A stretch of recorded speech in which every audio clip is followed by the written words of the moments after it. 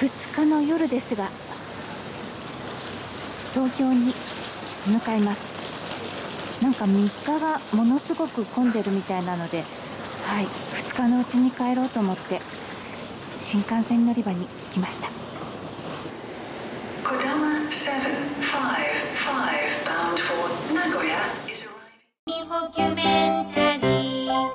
こんにちは。みほです。東京に帰ってきて日めくりカレンダーを部屋に飾りました。こんな感じで特大なんですけれども。早速めくりたいと思います。はい。おっと。結構硬い。あどうしようどうしよう。でん。よし。ああらら。謹んで新春のお喜びを申し上げます。よいしょ。はい。ね実家にいたから、うん、日めくりデビューは今日なんですけれども今日は1月3日。はい。や日本キュメンタリーちゃん。はい。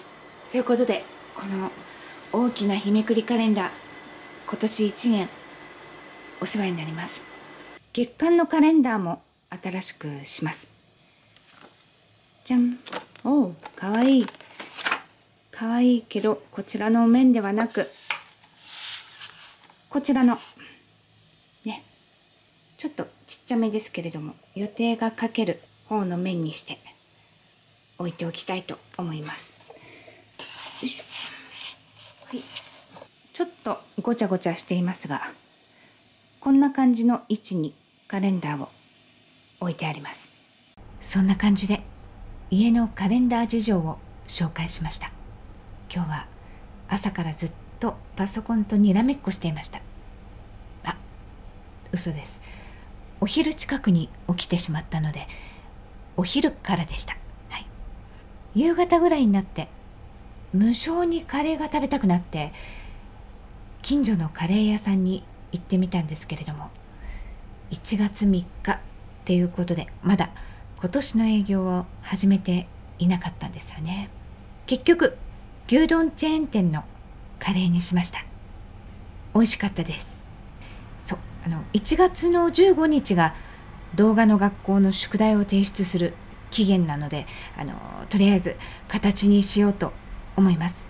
そんなこんなでこれからますますパソコンと向き合う時間が長くなりそうですけれどもまあ宿題なんてのはさっさと終わらせて早く遊べる人間になりたいです。じゃあ今日はこの辺で。バイバイ。